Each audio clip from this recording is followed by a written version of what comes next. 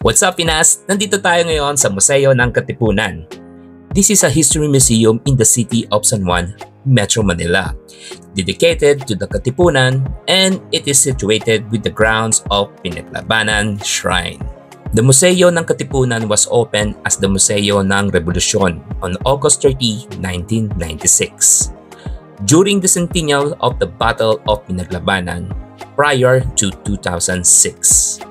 The museum mainly featured the Battle of Pinaglabanan and it had pictures, cutout, and busts of Andres Bonifacio, Emilio Jacinto, and Apolinario Mabini as exhibits.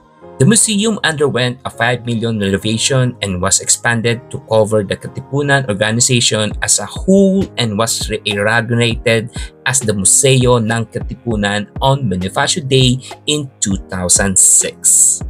It was reconstructed as a modernized museum and was reopened on August 27, 2013. The Museo ng Katipunan features artifacts which relate to the Philippine Revolution and the Katipunan. The museum included documents such as cedulas, oaths, membership forms, and as well as medals, anting-anting, and weapons used by the Katipunan.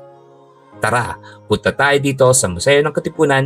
Dito lang yan sa Pinaglabanan Shrine, San Juan City.